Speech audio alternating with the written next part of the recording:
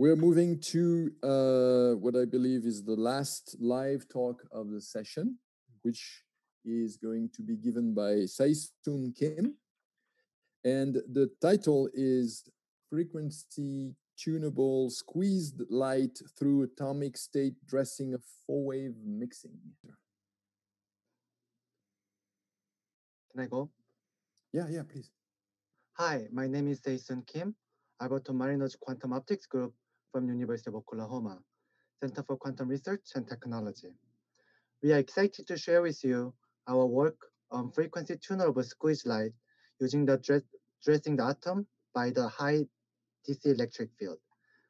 I would like to thank our funding agency, Air Force Office of Scientific Research. Squeeze light is a quantum state of light which have a reduced noise property.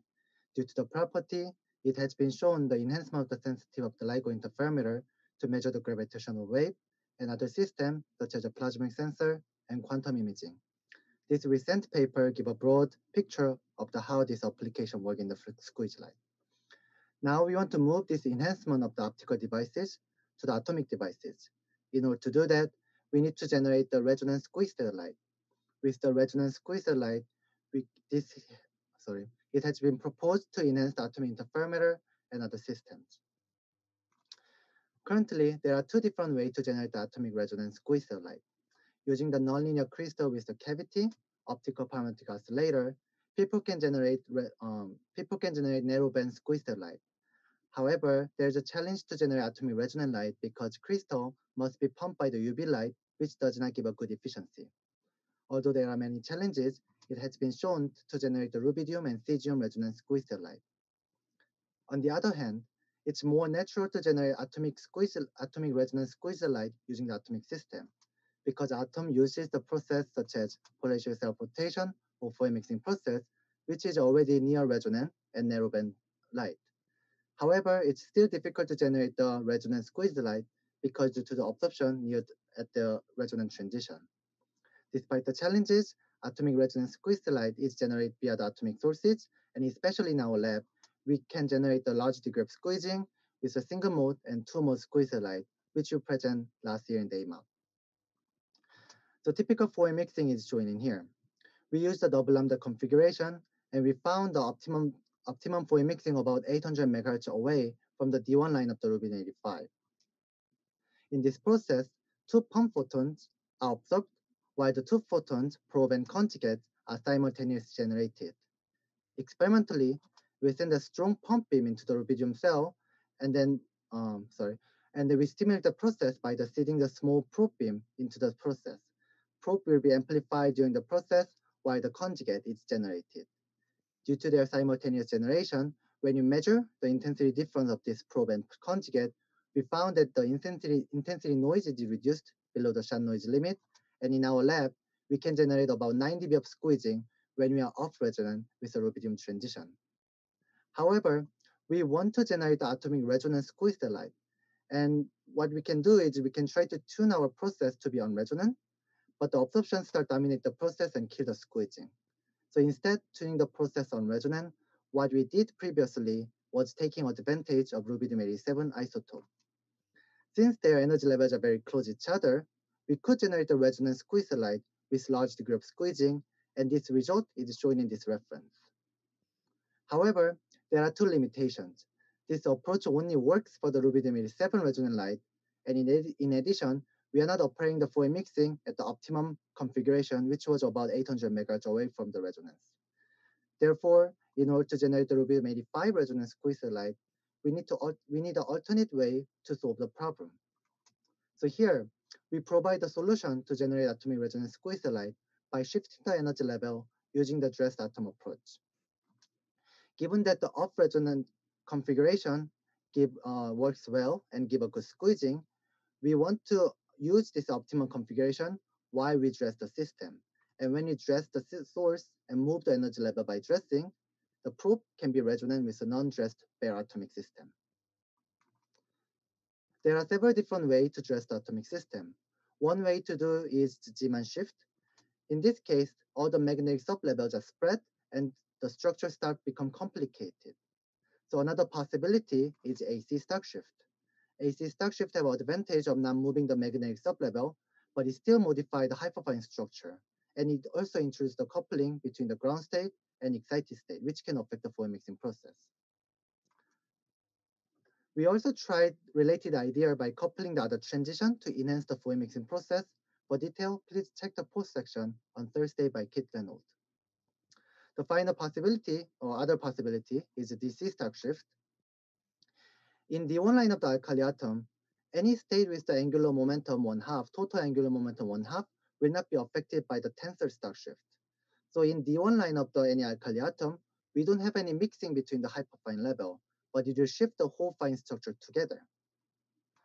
So since we can shift the whole manifold together, and it does not interact with the four-wave mixing process, we decide to use the DC electric field to dress the atom. Here, the relevant parameter for this system is the energy level shift of the D1 line. And previous study have shown that the shift scale quadratically with the rate of 61 kilohertz kilovolt per centimeter square. This parameter, for example, if you have a two plate separated by the two millimeter, we need to apply 25 kilovolt in order to shift the energy level by one gigahertz. And if we can shift the energy level by one gigahertz, we should be able to cover all Doppler-broadened transition and generate the rubidium 85 resonance squeeze the light. In order to address the system, we designed the chamber, and this is a design of the chamber, and this is the actual picture of the chamber. We hold the two plate inside of the vacuum, insert the rubidium, and heat it up and apply the voltage. Here's the experimental setup to test our approach. First, we have a hot rubidium high voltage chamber to do the four-wave mixing process. And in order to check the frequency, we pick up the small portion of the beam before the four-wave mixing and check with the saturation absorption spectroscopy. This gives an absolute measurement of the probe frequency. Here's some of the preliminary results. First, this plot is the absorption spectrum to test our chamber. We did the initial testing at the low temperature without four-wave mixing process, which we have a low density of the atom. We mark one of the transition with a red line as a reference. And as we apply the voltage, we can see the spectrum start to shift. As a result, we, are, we successfully apply maximum voltage of 22 kilovolt with the separation of the 2.2 millimeter, which corresponding to 10 megavolt per meter. We confirm that it shows more than 500 megahertz shift of the rubidium transition in D1 line. The red curve here represent the free, uh, expected frequency shift of the D1 line. We now increase the temperature and show the shift of the four-wave mixing process by the DC electric field. First, this is a spectrum of the saturation absorption spectrum, and its peak represents the energy level of the rubidium 85 and rubidium 87. And here is a normalized spectrum when you apply the four-wave mixing process. The black trace represents the probe, and the red trace represents the conjugate. From the four-wave mixing process, probe and conjugate are generated simultaneously but the two beams have a frequency difference of 6 gigahertz. So the bottom axis represent the probe detuning and top axis represent the conjugate detuning from the fine level of the rubidium. We can see the gain is about 1 gigahertz away from the resonance. This is where we got the best squeezing. By applying the DC field by 7 megavolt per meter, we can see the gain shift toward the resonance about 250 megahertz. By applying the, uh, so we, we also measure the intensity difference squeezing of the probe and conjugate. And current system, we start with a 4 dB of squeezing, and we preserve the 4 dB of squeezing after dressing the system with a DC electric field. As I present previous slide, the shift was about 500 megahertz at the low temperature, but now it's only 250 megahertz. This leads us to the limitation of our system. As we increase the temperature to optimize the four-wave mixing process, high voltage start to discharge and ionize the gas inside of the chamber due to the outgassing. And this leads to the short circuit. For example, if you fail to make a good vacuum, it will start to glow the impurity and then become a light bulb. And for example, if you fail to make, if you don't care about the surface of the plate and then smoothness, the smoothness of the plate is ignored, then it will start arcing and it will be devastating. So after many failure, we now have a good control over the chamber, and I'm hoping to get more data once we get back to the lab. In conclusion, we show the frequency tuner of a squeeze light source by strong DC electric field. And one of the promising features is our system can apply to other alkali system and also other processes such as polarization self-rotation. In the future, we want to increase the voltage even further to generate the actually resonant squeeze light to cover all the Doppler version transition of the rubidium 85.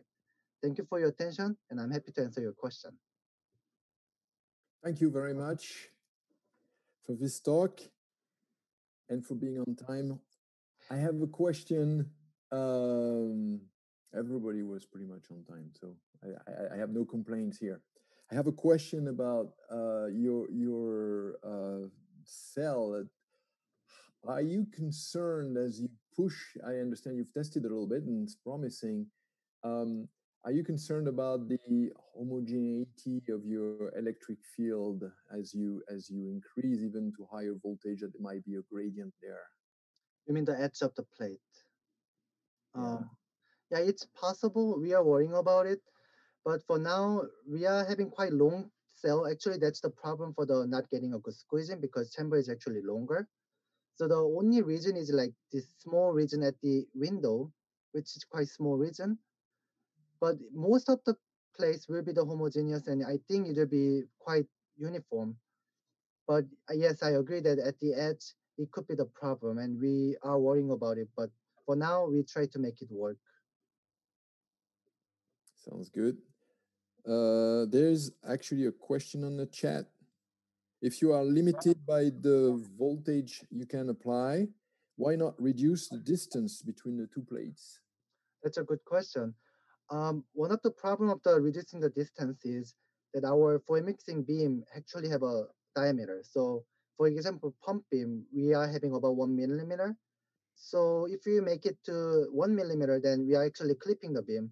So we have to be a little bit more. So we have to like compensate each other by how much the uh, distance and then the size of the pump beam. And then we found that one millimeter of the pump is good, but we can also try to make it smaller and we are working, uh, we are actually fabricating the maker to make trying the smaller distances. There's uh, okay, a couple more questions. One is, what's the pressure of your chamber? Uh, so one is that we, before we do the four-wave mixing, like let's say we pump it out the chamber, then it's like we can get to 10 to the 8 torr. But once we put the rubidium in there, we are not sure that what's the pressure because we cannot really measure it because we plug into rubidium, close the chamber and heat it up. So we don't really have an active measurement in here. So I assume that the pressure will be decided by the rubidium density inside of the chamber and outgassing. And uh, lastly, there's a question by David Reens. When I don't give the name, it's anonymous. Um, great talks, thanks. Great talk, thanks. How high of a field would you apply ideally to hit one gigahertz?